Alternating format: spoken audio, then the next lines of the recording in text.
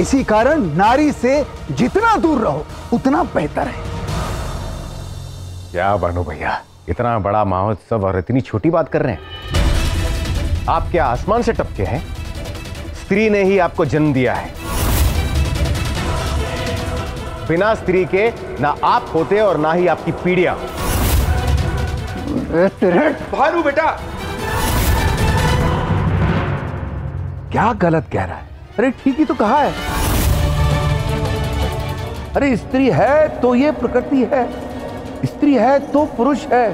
स्त्री है तो परमात्मा है। ये संपूर्ण सृष्टि है। समस्त संसार है।